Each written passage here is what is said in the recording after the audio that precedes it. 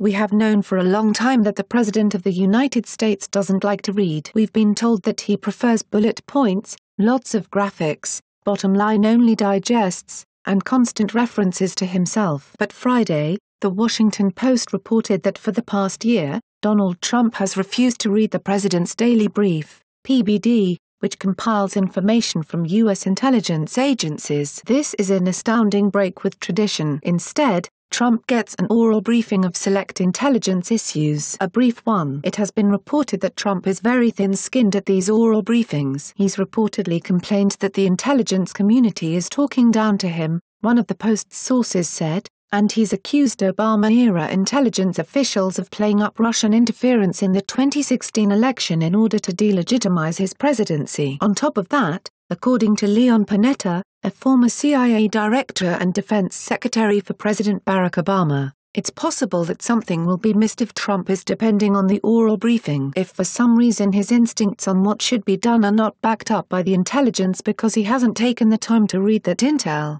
it increases the risk that he will make a mistake. In his book Fire and Fury, Inside the Trump White House published last month, Michael Wolff wrote, Trump didn't read. He didn't really even skim. If it was print, it might as well not exist. Some believed that for all practical purposes, he was no more than semi-literate. Others concluded that he didn't read because he didn't have to he was post-literate total television. In light of the book, MSNBC's Morning Joe co-host Joe Scarborough, in an op-ed for The Post, wrote that there was awkward silence when in 2015 he asked Trump, can you read? What do you think?